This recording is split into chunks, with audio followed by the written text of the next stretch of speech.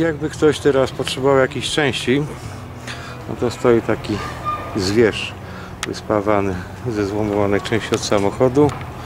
Jakiś blok, wahacz.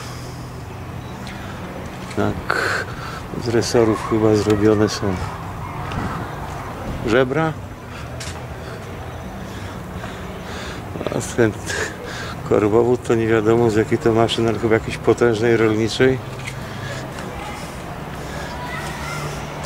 Aha, tak, o tutaj jest, tutaj jest i to chyba zresztą nawet porusza się, tak, poruszają się, tak, poruszają się, poruszają się. Co to jest? To jest chyba też część wahacza jakiegoś. Nie wiem od czego ogon jest, ogon jest prętów zbrojeniowych. No ale...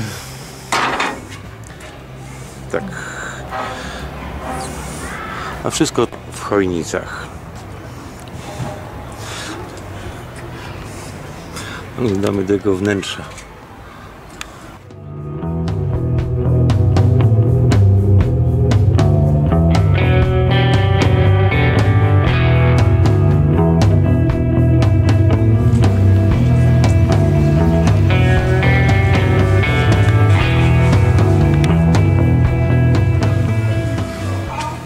No, niestety muzeum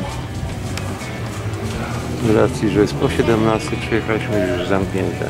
No, kto późno wstaje, tak też i ma. O, jest informacja turystyczna.